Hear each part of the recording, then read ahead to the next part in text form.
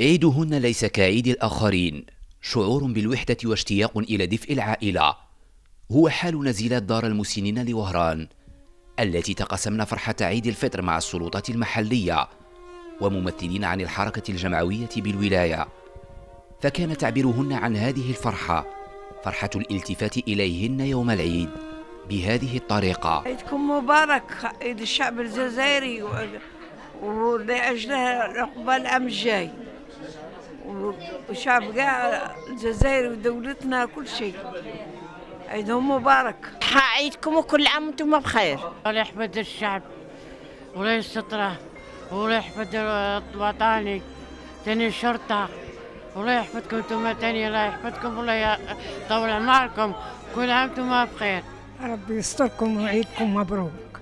لكل الجزائر كاملة. تكمن أهمية هذه المبادرة في قيمتها المعنوية في إدخال البهجة على قلوبهن وتحسيسهن بأنهن غير مهمشات في المجتمع.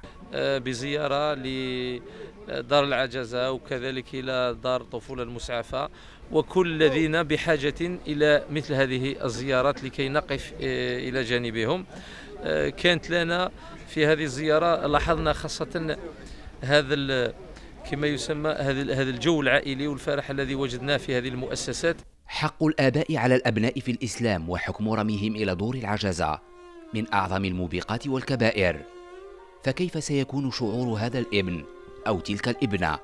وهو يشاهد ربما الآن والدته التي حرمها الدفء الأسري. عفوا حرم نفسه سعادة الدنيا والآخرة.